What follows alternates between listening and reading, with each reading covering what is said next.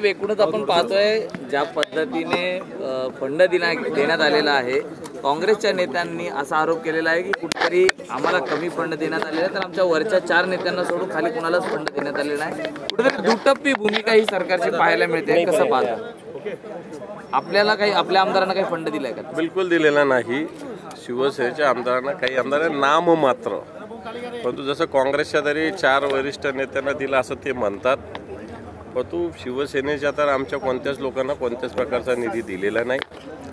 हा जनतेवरचा अन्याय आमदारावरचा अन्याय नाही हा. हा आम्ही ज्या भागातून लोकप्रतिनिधित्व करतो त्या भागातील जनतेवरचा हा अन्याय आहे. त्या भागातील सगळ्या पक्षाला मानणारे लोक काही ना काही प्रमाणात असतात.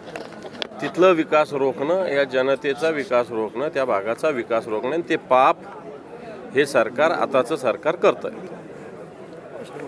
सर दुसरीकडे बार्टी सारथीच्या पा- एकूणच गोष्टींवरती काल ब्राह्मण समाजाने परशुराम महाविकास मंडळाची स्थापना केलेली आहे.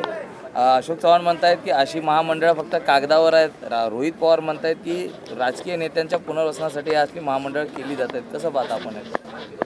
हे पहा आपल्यालाही माहिती असेल मागच्या अर्थसंकल्पीय अधिवेशनात नंतरच्या मंत्रिमंडळाच्या बैठकीत अनेक मंडळ स्थापन करण्याची घोषणा केलेली आहे. अनेक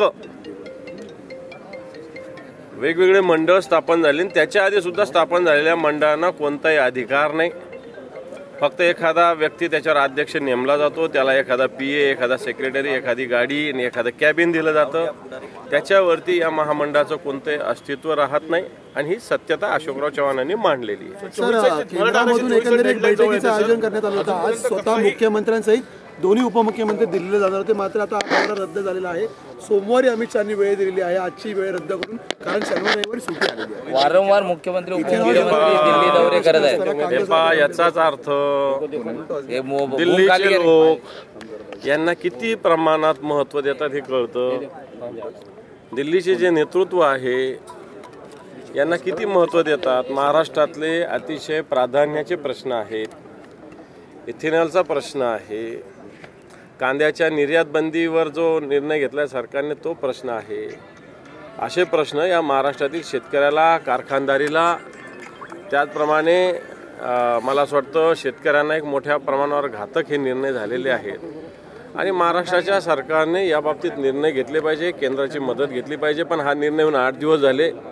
पहिल्या दिवशीपासून मुख्यमंत्री आणि उपमुख्यमंत्री केंद्राशी चर्चा चालू आहे. आम्ही पियुष गोयलांना भेटलो अमित शहाना भेटणार. आहे तुम्हाला साधी वेळ देत नाही.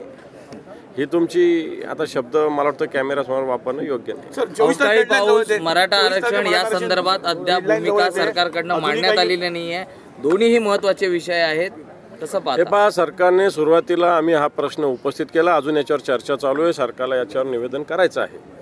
पण तो अवकाळी पाऊस आणि गारपिटीमुळं जे शेतकऱ्यांचं नुकसान झालं आणि कालच शेतकऱ्यांच्या आत्महत्येचा अहवाल बाहेर आलेला आहे. दोन हजाराच्या वर आत्महत्या एक जानेवारीपासून आत्तापर्यंत झालेल्या आहे. मला असं वाटतं आपण हा महाराष्ट्र ज्या महात्मा ज्योतिबा फुलेने शेतकऱ्यांचा आसूड ओढला होता फुले शाहू आंबेडकरांचा महाराष्ट्र आपण म्हणतो त्या महाराष्ट्रातली शेतकऱ्यांची दुर्दैवी स्थिती आहे. अशी असताना अवकाळी आणि गारपिटीमुळं सरकारने अजून कोणत्या मदतीची घोषणा केली नाही कोणती मदत देईल सरकार असं वाटत नाही.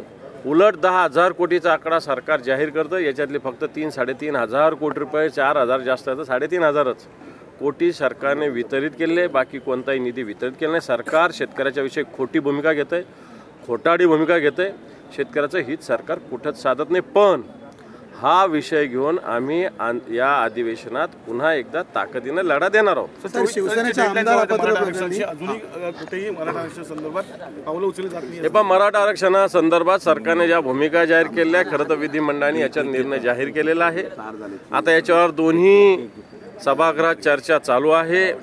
मनोज जरांगे पाटलांचं जे आंदोलन चालू आहे हे आंदोलन मागे घेताना सरकारने चोवीस डिसेंबरची मुदत दिलेली आहे. आज आता मला वाटतं पंधरा डिसेंबर आहे पाच आणि चार नऊ दिवस बाकी आहेत. या नऊ दिवसात सरकार काय अजितदादाचा शब्द दिवे लावणार हे आपण पाहू. सर सर एक अपत्र प्रकरणी आता वीस तारखेपर्यंत अंतिम सुनावणी पार पडेल. मात्र निकाल लावण्यासाठी आणखी तीन आठवड्यांची मुदतवाढ मागितलेली आहे कारण चौतीस याचिका आहेत या प्रकरणामध्ये. तर वेळ काढूपणा आहे की खरंच हे? सुप्रीम कोर्टाने जे एकतीस डिसेंबरची मुदत दिलेली आहे या एकतीस डिसेंबरच्या आत अध्यक्षांनी निर्णय घेणं अपेक्षित आहे. वारंवार मुदतवाढ घेत होते ते म्हणूनच एकतीस डिसेंबरची मर्यादा सुप्रीम कोर्टानं आखून दिलेली आहे. आणि मला असं वाटतं की सुप्रीम कोर्टाने जो आदेश दिलेला आहे त्या पद्धतीनं अध्यक्षांना वागावंच लागेल निर्णय घ्यावा लागेल. दानवे साहेब राज्य राज्यातल्या महामार्गांवरचे जे रस्ते आहेत ते गुळगुळीत करण्याचं आश्वासन सरकारने दिलं होतं. मात्र याच रस्त्यांवरती जवळपास एक हजार चार ब्लॅक स्पॉट सापडलेले आहेत. तर दुसरीकडे तीनशेहून अधिक मृत्यू हे एका वर्षात म्हणजे दोन हजार बावीस ते दोन हजार तेवीसमध्ये झालेले आहेत. किती गांभीर्याने आपण ही बाब मला असं वाटतं आकडा ब्लॅक स्पॉटचा एक हजार चारने चौदाशेचा आहे जवळपास. चौदाशे ब्लॅक स्पॉट या महाराष्ट्रात आहे. हे ब्लॅक स्पॉट याच्यासाठी काढत असतात की हळूहळू हे चौदाशेचे बाराशे व्हावे बाराशेचे अकराशे व्हावे अकराशेचे हजार व्हावे अकराशे अशी एक सिस्टीम असते. खऱ्या अर्थानं प्रशासनात. परंतु हे वाढत जाते याची संख्या कमी होत नाही. मला वाटतं हे सरकारचं या परिवहन विभागाचं रस्तेचं विभागाचं बी पी डब्ल्यू डी विभागाचं हे दु हे अपयश आहे.